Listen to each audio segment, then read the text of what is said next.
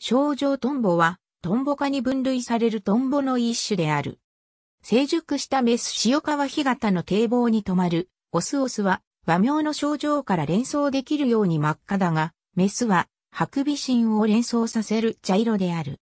オスは単独で池の円に強い縄張りを持ち、縄張りの円に沿って力強く紹介飛行をする。他のオスが飛来すると、斜め20センチメートル弱の距離に位置関係を保ち、地形に合わせて低空変態飛行を見せる。やや下側を飛ぶのが地主である。時に激しく、羽音を立てて格闘するが、メスの飛来にはおおらかである。交尾は、おおむね向かい合って、上下飛行を繰り返した後、やや高く2メートルくらいに上昇し、オス同士の格闘よりやや弱くもつれ合い、数秒以内で済ませているように見える。おつながり飛行は観察できない。交尾後にメスは飛びながら、青み泥などの水草を腹の先で擦るように産卵する。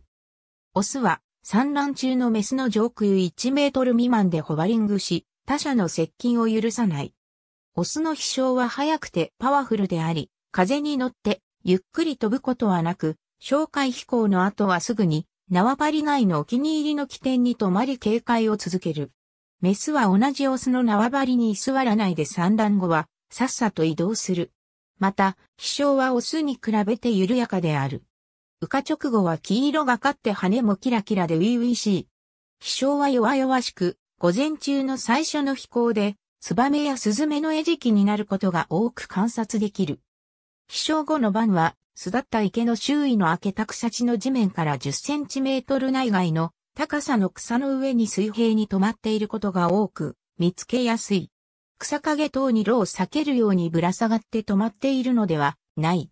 おおむね2から3日で姿を消す。ヤゴは水底より水草に止まって生息している。水槽観察では、大金ダモの中に潜み、時に発生する青み泥の中には、好んで移動する。食物は肉眼では微小な動物プランクトンを稀に見る程度の水盤でも冬を越し、十分に成長し成熟する。4月の雨上がりの数日後の晴れた日には、一坪ほどの産卵繁殖地から7から8メートル離れた伸びたスズメの片べらの半持ちの湿った地面上でヤゴを発見することが多々あり、歩行は素早いので陸上での採事活動も推測される。7月のヘリコプターによる地区一斉の水筒農薬散布後には、必ず池の周辺にオスの死骸を発見できる。数日以内に新たなオスの定着が見られることから、オスの縄張り探しの飛翔は数キロメートル以上の広範囲になることも推測される。さらに、オスが定着すると1日に数度の格闘を目撃でき、負け去るオスは直線的に稲田城を高速で視界から消えるので、一気に数キロメートルは移動する能力がある。